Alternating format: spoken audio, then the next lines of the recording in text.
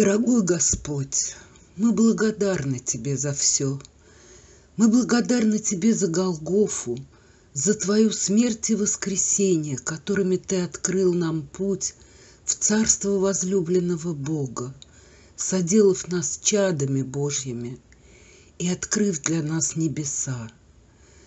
Мы благодарны Тебе за Духа Святого, который ведет нас по этой земле – чтобы мы не уклонились ни направо, ни налево от Твоего плана и от Твоих намерений в отношении нас, чтобы мы могли исполнить все назначенное Тобой, без всякого недостатка.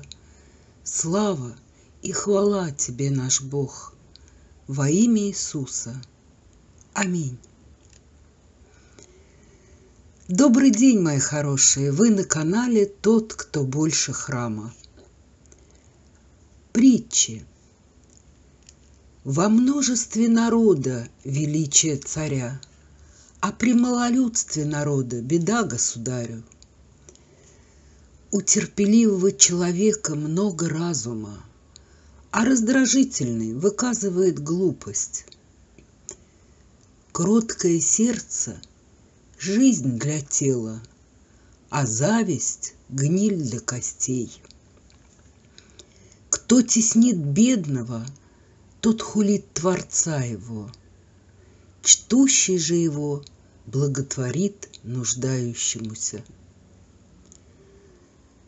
За зло свое нечестивый будет отвергнут, а праведный и при смерти своей имеет надежду – Мудрость почиет в сердце разумного И среди глупых дает знать о себе.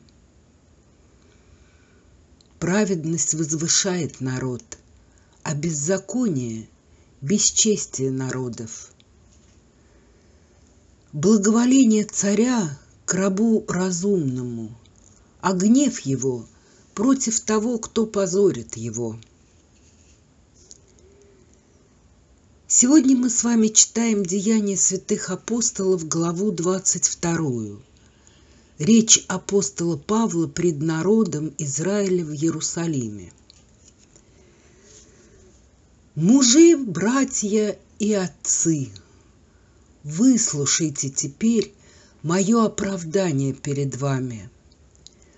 Услышав же, что он заговорил с ними на еврейском языке, они еще более утихли – он сказал, «Я иудеянин, родившийся в Тарсте Киликийском, воспитанный в всем городе при ногах Гамалиила, тщательно наставленный в отеческом законе, ревнитель по Боге, как и все вы ныне. Я даже до смерти гнал последователь сего учения, связывая и предавая в темницу и мужчин, и женщин, как засвидетельствует о мне первосвященник и все старейшины, от которых и письма взяв к братьям, живущим в Дамаске, я шел, чтобы тамошних привести в оковах в Иерусалим на истязание. Когда же я был в пути и приближался к Дамаску, около полудня вдруг осиял меня великий свет с неба. Я упал на землю и услышал голос, говоривший мне, «Савол, Савол, что ты гонишь меня?» Я отвечал, «Кто ты, Господи?» Он сказал мне, «Я Иисус Назарей, которого ты гонишь». Бывшие же со мною свет видели и пришли в страх, но голоса, говорившего мне, не слыхали. Тогда я сказал, «Господи, что мне делать?» Господь же сказал мне, «Встань и иди в Дамаск, и там тебе сказано будет все, что назначено тебе делать». А как я от славы света того лишился зрения, то бывшие со мною за руку привели меня в Дамаск. Некто Анания, муж благочестивый по закону, одобряемый всеми иудеями, живущими в Дамаске, пришел ко мне и, подойдя, сказал мне, «Брат Савл, прозри!» И я тотчас увидел его.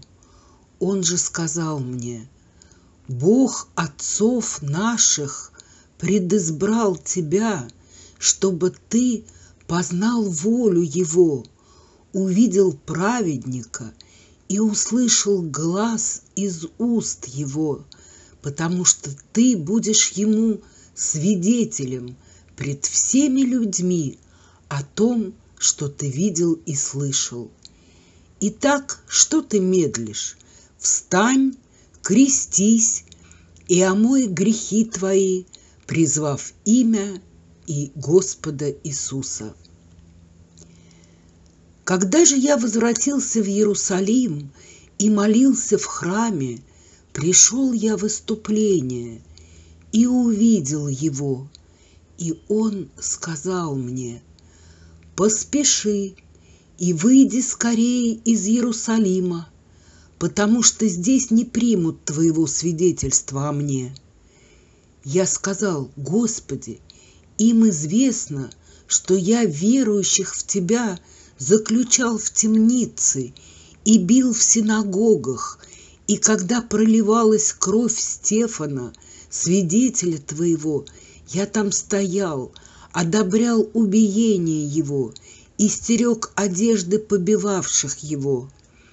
И он сказал мне, иди, я пошлю тебя далеко, к язычникам.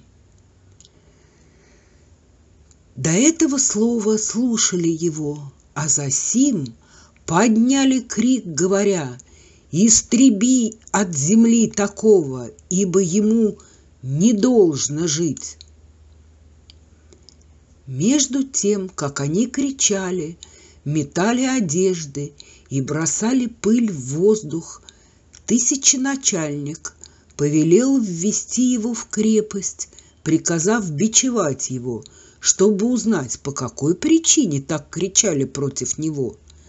Но когда растянули его ремнями, Павел сказал стоявшему сотнику, «Разве вам позволено бичевать римского гражданина, да и без суда?» Услышав это, сотник подошел и донес тысяченачальнику, говоря, «Смотри, что ты хочешь делать, этот человек римский гражданин.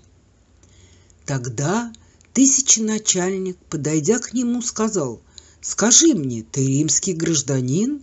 Он сказал, «Да». Тысяченачальник отвечал, «Я за большие деньги приобрел это гражданство». Павел же сказал, «А я и родился в нем». Тогда тотчас отступили от него, хотевшие пытать его, а тысячначальник, узнав, что он римский гражданин, испугался, что связал его. На другой день, желая достоверно узнать, в чем обвиняют его иудеи, освободил его от оков и повелел собрать первосвященникам и всему Синедриону – и, выведя Павла, поставил его перед ними. В этой главе мы еще раз услышали великое свидетельство апостола Павла о его невероятном духовном прозрении, покаянии и принятии Господа Иисуса Господом и Спасителем. К сожалению, основная часть народа Израиля так и не смогла услышать и принять сказанное им. Их духовные уши оказались закрыты. Псалом. Живущий под кровом Всевышнего, Под сенью всемогущего покоится. Говорит Господу, Прибежище мое и защита моя, Бог мой, на которого я уповаю.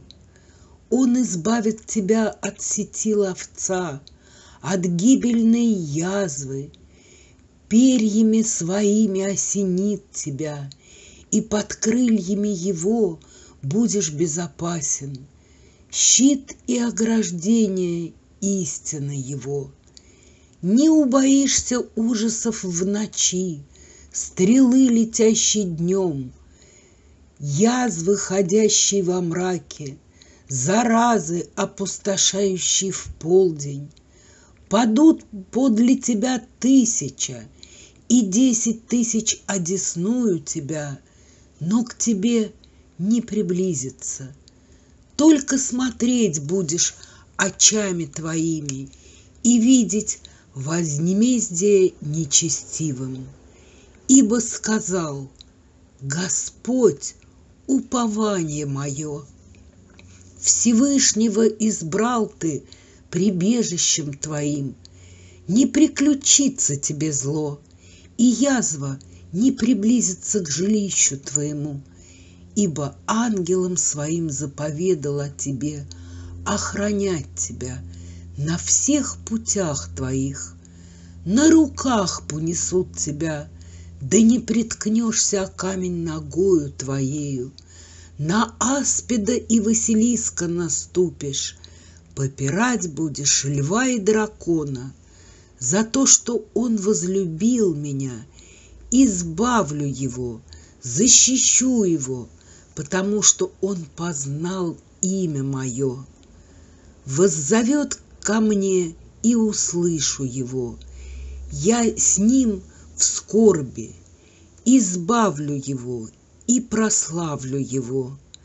Долготою дней насыщу его и явлю ему спасение мое.